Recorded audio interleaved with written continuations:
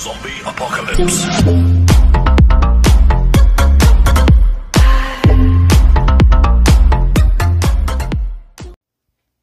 Fala Brasil, boa tarde pessoal.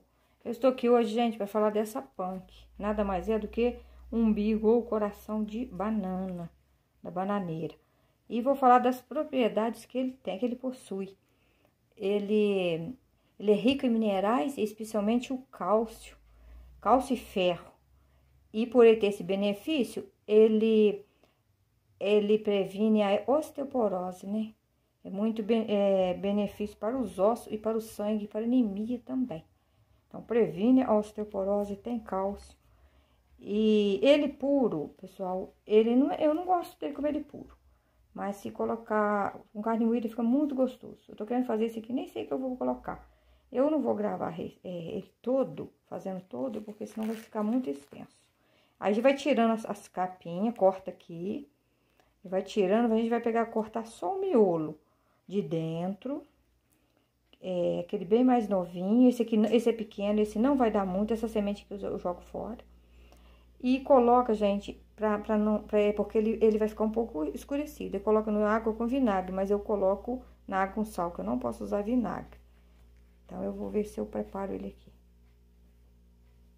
Então, pessoal, olha que eu tirei as capinhas que eu tirei, olha o que, que restou. Uhum. Agora eu vou, eu vou cortar, eu vou colocar na água com limão e sal. Ó, gente, tem que ferventar mais de uma água pica aqui em rodelinhas bem finas, é,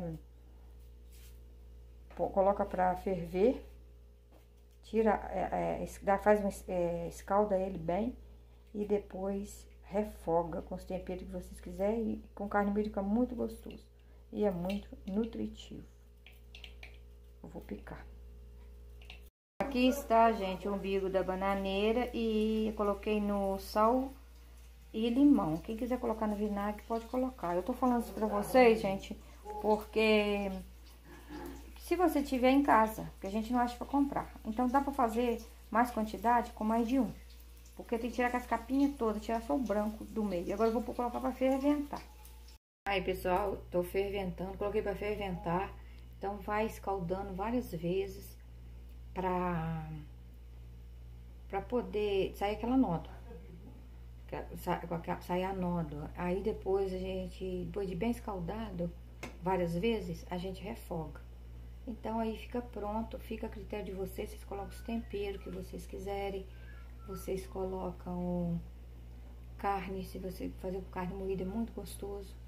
Eu gosto com carne, eu não sei com o que, que eu vou fazer hoje não.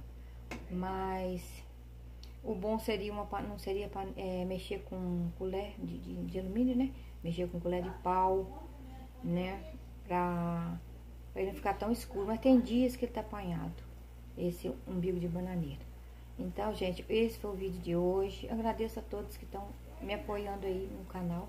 Meu muito obrigado e tenha uma boa tarde. Fique todos com Deus. Tchau.